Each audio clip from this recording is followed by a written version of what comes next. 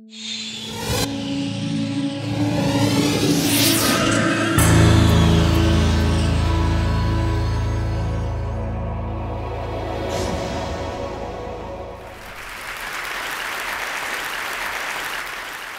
grew up interacting with the physical objects around us, and there are enormous number of them that we, we every day use. Unlike our most computing devices, these objects are much more fun to use with. When you talk about objects, one another thing automatically comes attached to that thing, and that is gestures, how we manipulate these objects, how we use this object in everyday life we use gestures not only to interact with these objects, but we also use to interact with each other. Like gesture of namaste, maybe to respect someone, or maybe in India, I don't, don't need to teach a kid that this means four run in cricket. It comes as a part of our everyday learning. So I'm very interested from beginning that how, how can our knowledge about everyday objects and the gestures and how we use this object can be leveraged to our interaction with the digital world rather than using a keyboard and mouse, why can I not use the, my computer in the same way that I interact in the physical world? So I started this exploration around eight years back, and it literally started with a mouse on my desk. Rather than using that for computer, I actually opened it. And most of you might be aware that in those days, the mouse used to come with a ball inside, and there are two rollers that actually guides the computer that where the ball is moving and accordingly where the mouse is moving. So I was interested in these two rollers. And I actually wanted more, so I borrowed another uh, mouse from a friend, never returned him, and I have now four rollers. What interestingly I did with these rollers is basically I took them off from these mouses and then put in a one line.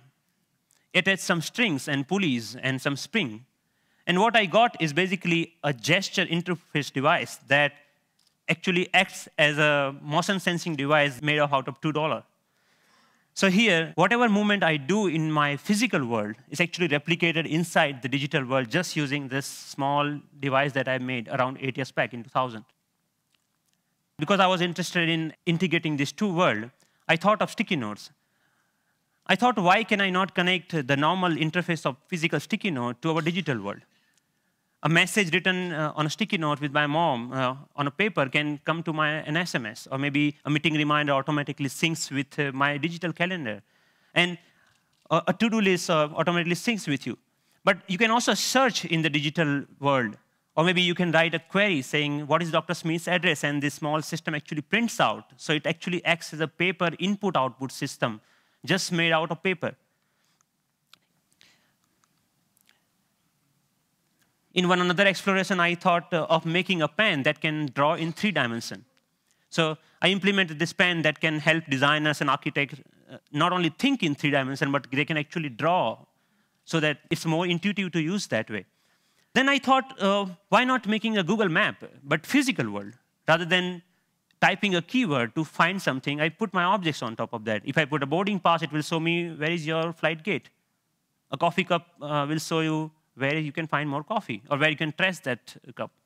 So this was some of the earlier explorations I did because the, the goal was to connect these two worlds seamlessly. Among all these experiments, there was one thing very common. I was trying to bring a part of the physical world to the digital world. I was taking some part of the objects or anything intuitiveness of the real life and bringing them to digital world. Because the goal was to make our computing interfaces more intuitive. But then I realized that we human actually are not interested in computing. What we are interested is in information. We want to know about things. We want to know about dynamic things going around. So I thought around about last year, uh, in the beginning of the last year, I started thinking that why can I not take this approach in reverse way? Maybe how about I take my digital world and paint the physical world with that digital information? Because pixels are actually right now confined in these rectangular devices that fits in our pocket. Why can I not remove this confine and take that to my everyday objects, everyday life, so that I don't need to learn the new language for interacting with those pixels? So in order to realize this dream, actually I thought of putting a big size projector on my head. I think that's why it's called head-mounted projector, isn't it? I took it very literally and uh, took my bike helmet, put a little bit cut over there so that projector actually fits nicely. So now what I can do, I can augment the world around me with this digital information. But later, I realized that I actually wanted to interact with those digital pixels also. So I put a small camera over there that acts as a digital eye. Later, we moved to a much better or consumer-oriented uh, pendant version of that, that many of you are now knowing as SixthSense device. But the most interesting thing about this particular technology is that you can carry your digital world with you wherever you go with you. You can start using any surface any wall around you as an interface. The camera is actually tracking all your gestures. Whatever you are doing with your hands, it's understanding that gesture. And actually, if you see, there are some color markers that in the beginning version we were using over there. You can start painting on any wall, that you stop by a wall and start painting on that wall. But we are not only tracking here one finger.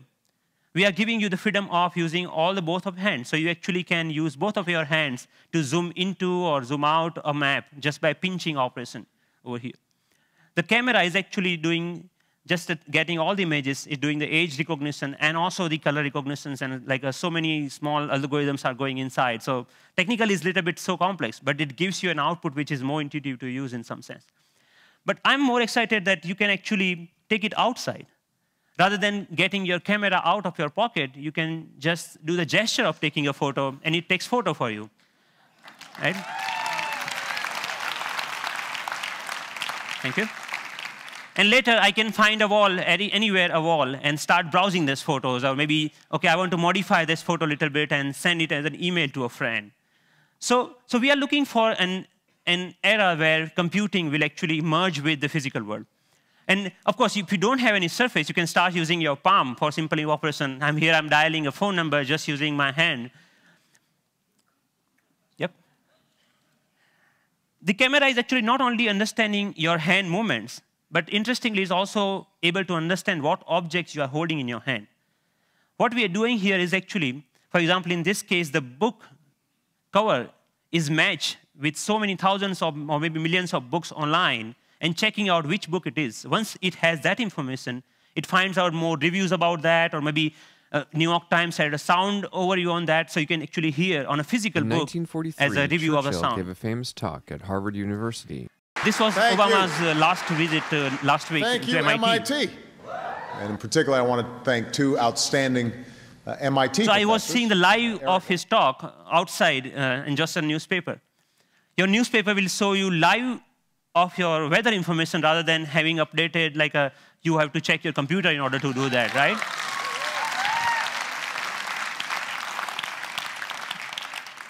When I'm going back, uh, I can just use my boarding pass and to check, uh, oh, my flight has been how much delayed. Because at that particular time, I'm not feeling of opening my iPhone and checking out a particular icon.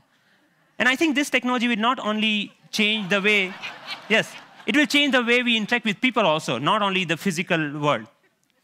The fun part is like I'm going to Boston Metro and playing Pong game inside the train on, on the ground, right?